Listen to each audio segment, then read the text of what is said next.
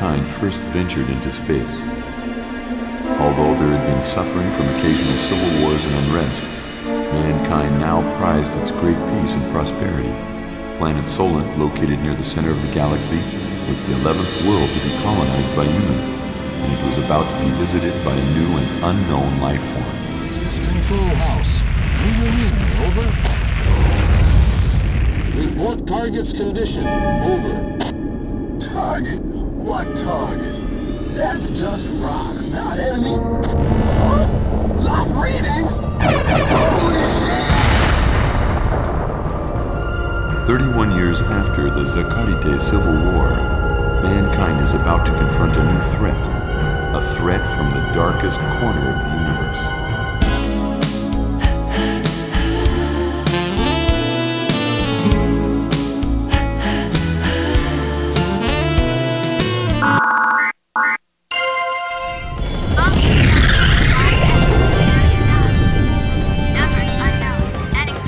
Until Wind Squid is released, in fact, until Wind Squid is actually developed, we're just going to have to settle for great shooting games like Silpheed on the PlayStation 2. There's not much settling here. This game is actually quite good. I've played Silpheed on the PC in the late 80s. I recently reviewed Silpheed for the Sega CD, which was a tremendous game. This is Silpheed on the PlayStation 2. Silpheed The Lost Planet. In this game, an entire planet has been lost. The invading aliens got drunk, came home from the bar, put it in the corner of their room, threw their jacket over it, and uh, forgot it was there for a week. Until one of their friends came over and tried to sit on it. And that's the sequel to this game Silpheed Planet Found, but Squashed.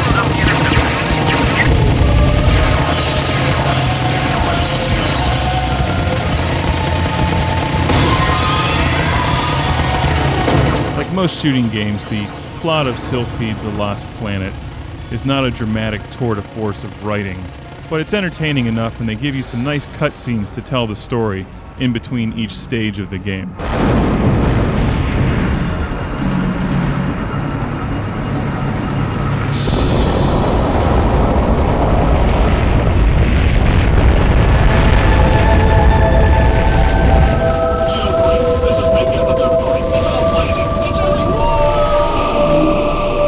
Story is somewhat cliched, but it works out. There's an alien invasion. They, they've destroyed one of the colony planets, or they've you know done something really bad to it. Your Earth Defense Forces, or whoever the hell they are, launch missiles at it, and and uh, well, well, you know, you'll see all this in the cutscenes, and you should play the game because the cutscenes are very well done. And the game, although not one of the greatest shooters ever made, is solid. It's well done. It's very affordable today. And on the PlayStation 2, the gameplay and the graphics are excellent. This. My biggest gripe about this version of Silpheed is that the music is is really subpar for a for a shooting game like this. The music soundtrack on the Silpheed for Sega CD was incredible. That's the kind of music you could put in your car and roll down the windows and drive to. This game sounds like they, they ran out of money. They went to the stock music library of cliched video game songs and uh, just just pulled out a few of them.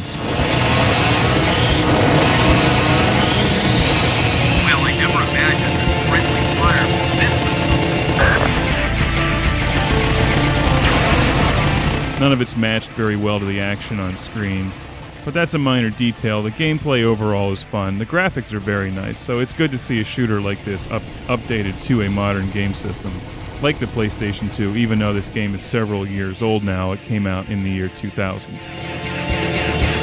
You don't pick up weapon power ups as you're flying around like you do in the Sega version. You earn your weapon upgrades as you progress through each stage, and you can you can mix and match each weapon for your left and right um, weapon. Coming out of warp. Now! I particularly enjoy this cutscene. I think they did an incredible job with the missiles and uh, you know the smoke in the wake of the missiles. That looks really nice.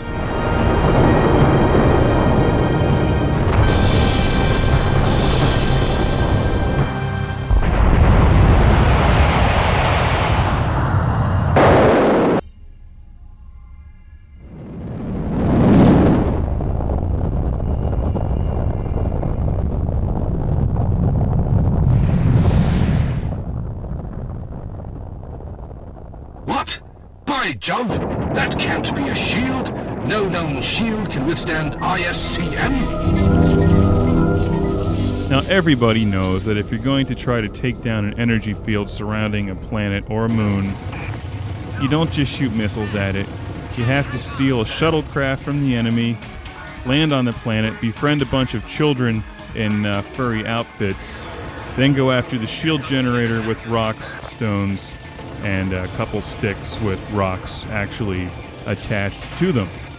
Because no matter how technologically advanced an enemy is, or no matter how many heavily armed, monstrous walking machines with guns bristling all over the place they might have, if you attack them with sharp sticks and maybe uh, some logs tied to trees to swing down and crush them, you'll easily defeat the enemy and then be able to destroy the shield generator. This guy's a pretty challenging end boss and somewhat creative as, as well. He seems to be riding inside of a tire. Like, who are the guys that come up with these end bosses?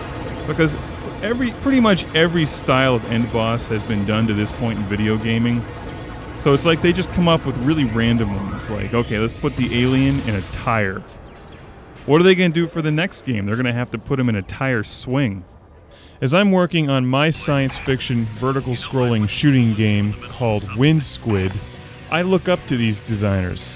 I'm being inspired by games like Silpheed. So the end bosses in Wind Squid, instead of riding in a tire, they might be on a seesaw. Or they could be playing in a pit of fun balls. And as your spaceship, the Wind Squid, approaches them with lasers blasting, the alien end boss pops out of the pit of multicolored fun balls, spewing children everywhere, and throws fun balls at you in different patterns and formations. And you have to guide Wind Squid through the fun balls, under the curvy slide, past the seesaw. As you navigate the jungle gym, you shoot a couple plasma rays through the merry-go-round and into his head. Then Wind Squid enters hyperspace and flies to the next level. The hypnotic candy cane forest full of malt liquor powered alligator robots that transform into toasters with laser beams.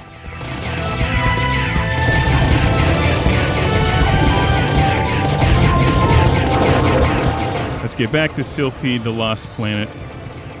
And like Silpheed on the Sega CD, your spaceship doesn't explode if you catch one shot. You have a shield on the top right, you can see it. It goes down in increments when you get hit, and you only have one life. So when you when your shield runs out, you explode, you die, you lose the game. You can get continues, which is nice, so you can practice on the different end bosses until you get them right. But in order to get the highest score, you do have to start from the beginning and work your way through the whole game.